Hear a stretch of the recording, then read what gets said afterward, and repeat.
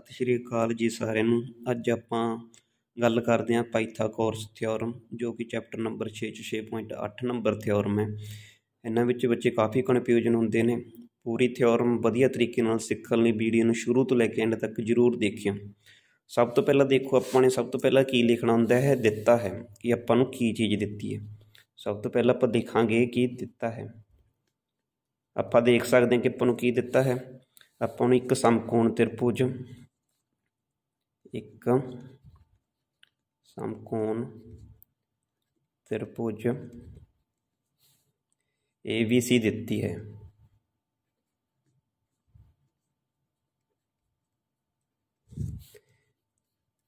ABC ਦਿੱਤੀ ਹੈ। ਤੇ ਇਸ 'ਚ ਇੱਕ ਤੇ ਕੋਣ B ਆਪਾਂ ਨੂੰ ਕਿੰਨਾ ਦਿੱਤਾ ਹੈ? 90 ਡਿਗਰੀ ਦਿੱਤਾ ਹੈ। ਤਾਂ ਕੋਣ ਆਪਾਂ ਨੂੰ B ਕਿੰਨਾ ਦਿੱਤਾ ਹੈ? 90 ਡਿਗਰੀ। ਤਾਂ ਆਪਾਂ ਨੇ ਸਿੱਧ ਕੀ ਕਰਨਾ ਹੁੰਦਾ ਇਸ 'ਚ?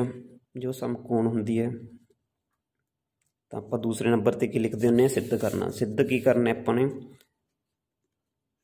ਕਾਰਨ ਦੀ ਸਕੁਅਰ ਕਿਹਦੇ ਬਰਾਬਰ ਹੁੰਦੀ ਹੈ ਆਪਣੀ? ਲੰਬ ਦੀ ਸਕੁਅਰ ਪਲੱਸ ਆਧਾਰ ਦੀ ਸਕੁਅਰ ਦੇ ਬਰਾਬਰ। ਇਹ ਚੀਜ਼ ਕੀ ਕਰਨੀ ਆਪਾਂ ਨੇ? ਸਿੱਧ ਕਰਨੀ ਹੈ। ਠੀਕ ਹੈ? ਇਸ ਤੋਂ ਬਾਅਦ ਆਪਾਂ ਨੇ ਕੀ ਕਰਨਾ ਹੁੰਦਾ? ਇਸ ਤੋਂ ਬਾਅਦ ਆਪਾਂ ਨੂੰ ਕੀ ਦੀ ਲੋੜ ਪਊਗੀ? ਆਪਾਂ ਨੂੰ ਪਊਗੀ ਲੋੜ ਰਚਨਾ ਦੀ। ਤੇ ਹੁਣ ਦੇਖੋ ਆਪਾਂ ਇਹ 'ਚ ਰਚਨਾ ਕੀ ਕਰਾਂਗੇ। ਤਾਂ ਰਚਨਾ। ਰਚਨਾ ਦੇਖੋ, ਰਚਨਾ ਚੋਂ ਆਪਾਂ ਸਮਕੋਣ B ਤੋਂ ਇੱਕ ਲੰਬ ਖਿੱਚਾਂਗੇ। ਲੰਬ ਕੀਤੇ ਖਿੱਚਾਂਗੇ ਆਪਾਂ ਕਰਨ ਤੇ। ਕਰਨ ਕੀ ਹੈ ਇੱਥੇ ਆਪਣਾ? AC ਤੇ ਆਪਾਂ ਕੀ ਲਿਖਾਂਗੇ? ਸਮਕੋਣ B ਤੋਂ। B ਤੋਂ। ਕੀ ਖਿੱਚੇ ਆਪਾਂ ਨੇ? B ਤੋਂ ਡੀ ਲੰਬ। ਕੀ ਖਿੱਚੇ ਆਪਾਂ ਨੇ? ਸੀ ਖਿੱਚਿਆ ਏ ਸੀ ਖਿੱਚਿਆ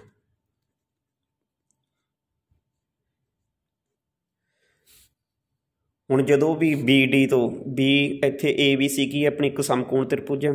B ਕੀ ਹੈ? ਇੱਕ ਸਮਕੋਣ ਹੈ। ਜਦੋਂ ਵੀ ਸਮਕੋਣ ਤੋਂ ਕੋਈ ਵੀ ਲੰਬ ਆਪਣਾ ਕੋਈ ਵੀ ਲੰਬ ਜਦੋਂ ਕਰਨ ਤੇ ਡਿੱਗਦਾ ਹੈ, ਤਾਂ ਕੀ ਹੋ ਜਾਂਦੇ ਹੈ ਜਿਹੜੀਆਂ ਆਪਣੀਆਂ ਤ੍ਰਿਭੁਜਾਂ ਨੇ, ਕਿੰਨੀਆਂ ਤ੍ਰਿਭੁਜਾਂ ਬਣ ਰਹੀਆਂ ਨੇ ਇੱਥੇ? ABC ਤੇ AVD ਤੇ BDE ਤਿੰਨ ਤ੍ਰਿਭੁਜਾਂ ਬਣ ਰਹੀਆਂ ਨੇ। ਇਹ ਕੀ ਹੋ ਜਾਂਦੀਆਂ ਨੇ?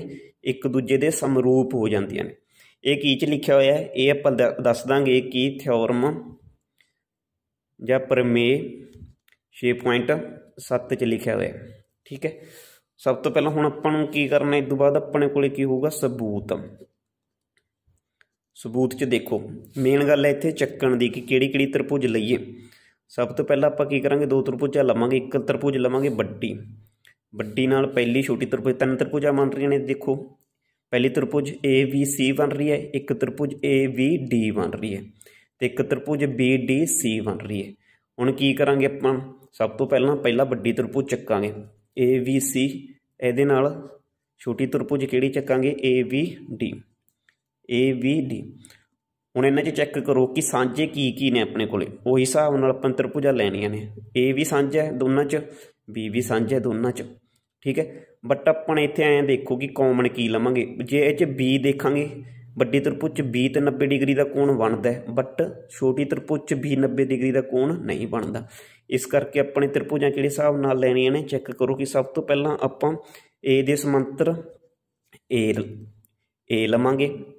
ਅਤੇ ਬੀ ਵੱਡੀ ਤਰਪੁੱਚ ਬੀ ਕੀ ਹੈ? 90 ਡਿਗਰੀ ਦਾ ਕੋਣ। ਤਾਂ ਆਪਾਂ ਛੋਟੀ ਤਰਪੁੱਚ ਵੀ ਦੇਖਾਂਗੇ 90 ਡਿਗਰੀ ਦਾ ਕੋਣ ਕਿਹੜਾ ਹੈ? ਤਾਂ ਛੋਟੀ ਤਰਪੁੱਚ 'ਚ 90 ਡਿਗਰੀ ਦਾ ਕੋਣ ਕਿਹੜਾ ਆਪਣਾ ਡੀ ਕੋਣ ਹੈ, ਆਪਣਾ ਛੋਟਾ ਤ੍ਰਿਭੁਜ ਤੇ ਹੁਣ ਬਾਕੀ ਦੇਖੋ ਕੀ ਬਚ ਗਿਆ। ਇਧਰਲੀ ਸਾਈਡ ਕੀ ਬਚ ਗਿਆ? ਆਪਣਾ ਸੀ ਬਚ ਗਿਆ। ਤੇ ਇਧਰਲੀ ਸਾਈਡ ਕੀ ਬਚ ਗਿਆ? ਆਪਣਾ ਪੀ ਬਚ ਗਿਆ। ਤੇ ਆਪਣੀਆਂ ਦੋ ਤ੍ਰਿਭੁਜਾਂ ਕਿਹੜੀਆਂ ਬਣ ਜਾਣਗੀਆਂ? ਏ ਬੀ ABC ਤੇ ਬੀ ਆਪਣੇ ਇਸ ਤਰੀਕੇ ਨਾਲ ਹੀ ਲੈਣੀਆਂ ਨੇ ਇਹ ਤ੍ਰਿਭੁਜਾਂ ਤਾਂ ਆਪਾਂ ਦੇਖੋ ਕਿ ਸਬੂਤ 'ਚ ਕੀ ਹੈ ਕਿ ਤ੍ਰਿਭੁਜ ਆਪਣੇ ਕੋਲੇ ਸੀ ਹੈ। ਅਤੇ ਤ੍ਰਿਭੁਜ ਕੀ ਹੈ ਆਪਣੇ ਕੋਲੇ? ਏ ਡੀ ਬੀ ਹੈ। ਹੁਣ ਆਪਾਂ ਇਹਨਾਂ ਨੂੰ ਸਮਰੂਪ ਕਰਨ ਵਾਸਤੇ ਇਹਨਾਂ ਦਾ ਕੀ ਕਰਾਂਗੇ? ਪਹਿਲਾਂ ਚੈੱਕ ਕਰੋ, ਕੋਣ ਦੋਨਾਂ 'ਚ ਏ ਕੀ ਹੈ? ਕੋਣ ਦੋਨਾਂ 'ਚ ਏ ਕੀ ਹੈ? ਆਪਣਾ ਸਾਂਝਾ ਕੋਣ। ਏ ਕੋਣ ਬਰਾਬਰ ਹੋ ਗਏ ਦੋਨੇ ਤ੍ਰਿਭੁਜਾਂ 'ਚ? ਸਾਂਝਾ ਕੋਣ। ਤੇ ਕੋਣ ਬੀ ਤੇ ਕੋਣ ਡੀ ਕੀ ਨੇ ਇਹ ਆਪਣੇ? 90 ਡਿਗਰੀ ਦੇ ਕੋਣ। ਕੋਣ BD ਤੇ ਕੋਣ ਕੀ ਨੇ ਇਹ? 90 ਡਿਗਰੀ ਦੇ ਕੋਣ ਦੋਨੇ। ਹੁਣ ਇਸ ਕਰਕੇ ਦੋ ਕੋਣ ਆਪਣੇ ਬਰਾਬਰ ਕਰ ਲਏ ਦੋਨੇ ਤਰਪੁਜਾਂ ਦੇ ਤਾਂ ਤਰਪੁਜ ਕੀ ਹੋ ਜੂਗੀ? ਤਰਪੁਜ ABC ਸਮਰੂਪ ਹੋ ਜੂਗੀ ਤਰਪੁਜ ADB ਦੇ। ਕਿਹੜੀ ਕਸੌਟੀ ਰਾਈ ਹੋਗੀ ਇਹ ਆਪਣੀ? AA ਐਂਗਲ ਐਂਗਲ ਕਸੌਟੀ ਰਾਈ ਜਦੋਂ ਆਪਣੇ ਤਰਪੋਜਾਂ ਸਮਰੂਪ ਹੋ ਜਾਂਦੇ ਨੇ ਤਾਂ ਆਪਾਂ ਕਿਵੇਂ ਲਿਖ ਸਕਦੇ ਇਹਨਾਂ ਨੂੰ ਅਨੁਪਾਤ 'ਚ ਲਿਖ ਸਕਦੇ ਹਾਂ। ਪਹਿਲਾਂ ਚੈੱਕ ਕਰੋ ਕਿ ਅਨੁਪਾਤ 'ਚ ਕਿਵੇਂ ਲਿਖਾਂਗੇ। ਪਹਿਲੇ ਦੋ ਅੱਖਰ ਇਹਦੇ ਲਵਾਂਗੇ ਤੇ ਦੋ ਹੀ ਇਹਦੇ ਲਵਾਂਗੇ। ਤਾਂ ਕੀ ਲਵਾਂਗੇ? AB ਬਟਾ AD ਬਰਾਬਰ BC ਬਟਾ DB ਹੁਣ ਇਹਦੇ ਦੋ ਅੱਖਰ BC ਬਟਾ DB ਹੁਣ ਚੈੱਕ ਕਰੋ ਕਿ ਲਾਸਟ ਪਹਿਲਾ ਤੇ ਲਾਸਟ ਅੱਖਰ ਇਹਦਾ AC AB AC ਤੇ ਬੀ ਹੁਣ ਇੱਥੇ ਦੇਖੋ, ਇਹ ਸਾਰੇ ਆਪਣੇ ਕੋਲੇ ਆ ਗਏ ਅਨੁਪਾਤ ਚ।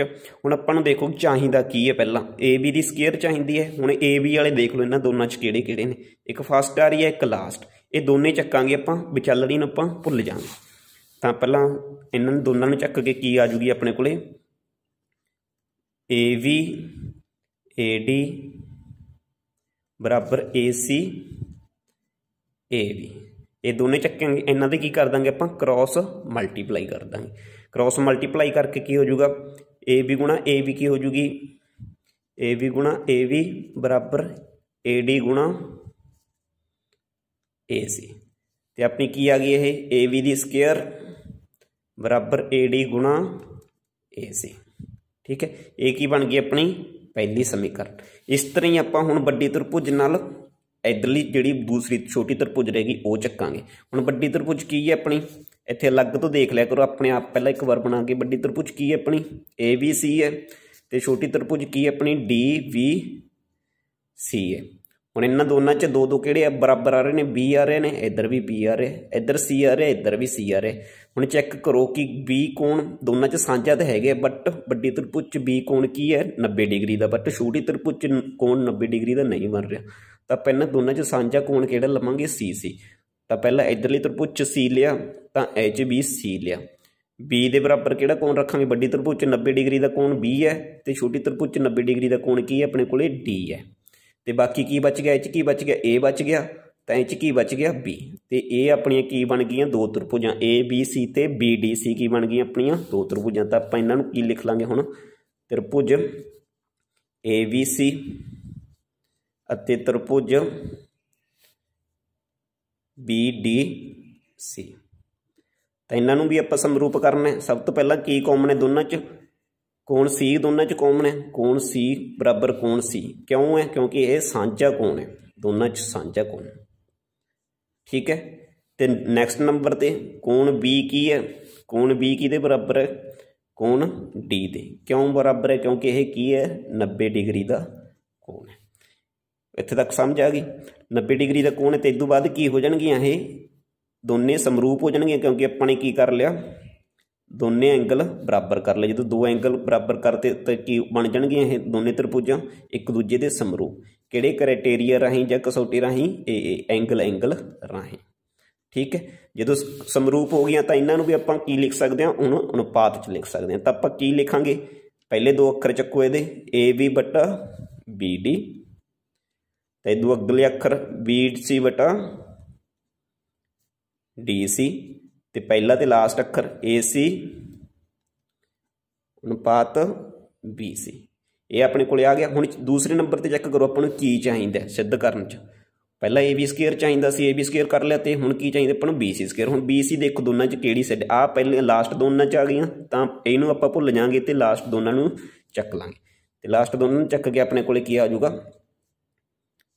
BC ਬਟਾ DC ਬਰਾਬਰ AC ਬਟਾ BC ਹੁਣ BC ਕ੍ਰਾਸ ਮਲਟੀਪਲਾਈ ਕਰ ਦਾਂਗੇ ਇਹਨਾਂ ਦੀ। ਕ੍ਰਾਸ ਮਲਟੀਪਲਾਈ ਕਰਕੇ ਕੀ ਆ ਜਾਊਗਾ ਆਪਣੇ ਕੋਲੇ? BC ਗੁਣਾ BC ਬਰਾਬਰ AC ਗੁਣਾ DC ਇਹ ਆ ਗਿਆ ਆਪਣੇ ਕੋਲੇ। ਇੱਥੇ ਕੀ ਆ ਜਾਊਗਾ ਆਪਣਾ? ਫਿਰ BC ਦੀ ਸਕੁਅਰ BC ਨੂੰ BC ਨਾਲ ਗੁਣਾ ਕੀਤੀ। BC ਦੀ ਸਕੁਅਰ ਇਧਰਲੀ ਸਾਈਡ ਕੀ ਆ ਗਿਆ? AC ਗੁਣਾ DC ਇਹ ਸਮੀਕਰਨ ਕੀ ਬਣ ਗਈ ਆਪਣੇ ਕੋਲੇ? 2 ਹੁਣ ਕੀ ਕਰਾਂਗੇ ਇਹਨਾਂ ਦੋਨਾਂ ਸਮੀਕਰਨਾਂ ਨੂੰ ਆਪਾਂ ਕੀ ਕਰ ਦਾਂਗੇ? ਜੋੜ ਦਾਂਗੇ। ਤਾਂ ਇੱਥੇ ਕੀ ਲਿਖਾਂਗੇ? ਸਮੀਕਰਨ 1 ਅਤੇ ਸਮੀਕਰਨ 2 ਨੂੰ ਜੋੜਨ ਤੇ। ਜੋੜਨ ਤੇ ਹਮੇਸ਼ਾ ਯਾਦ ਰੱਖਿਓ, ਖੱਬੇ ਹੱਥ ਵਾਲੀਆਂ ਖੱਬੇ ਹੱਥ ਵਾਲੀ ਨਾਲ ਹੀ ਜੁੜਨਗੇ ਤੇ ਜੋ ਸੱਜੇ ਸਾਈਡ ਨੇ ਜਾਂ ਸੱਜੇ ਹੱਥ ਸਾਈਡ ਨੇ, ਉਹ ਸੱਜੇ ਹੱਥ ਸਾਈਡ ਹੁਣ ਖੱਬੇ ਹੱਥ ਸਾਈਡ ਕਿਹੜੀਆਂ ਨੇ? ਏ ਬੀ ਸਕੁਅਰ ਹੈ ਇੱਧਰ ਦੇਖੋ। ਇੱਧਰ ਕੀ ਹੈ ਆਪਣੀ? ਬੀ ਸੀ ਸਕੁਅਰ ਤਾਂ ਇਹ ਕੀ ਕਰ ਲਾਂਗੇ ਆਪਾਂ? A B square plus B C square ਇੱਧਰਲੀ side ਕਿਹੜੀ ਹੈ ਆਪਣੀ?